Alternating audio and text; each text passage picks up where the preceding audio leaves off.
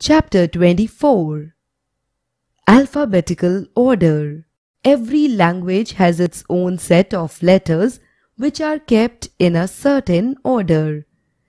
The English alphabet has 26 letters.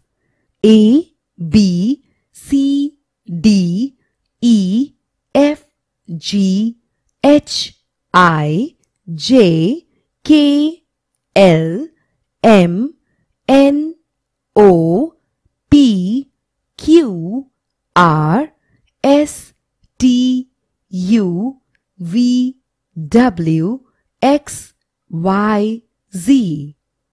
This fixed order of letters is called alphabetical order or ABC order. We can write these letters in two different ways. Capital letters, small letters.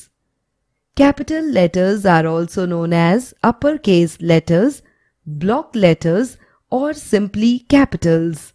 Small letters are also known as lowercase letters.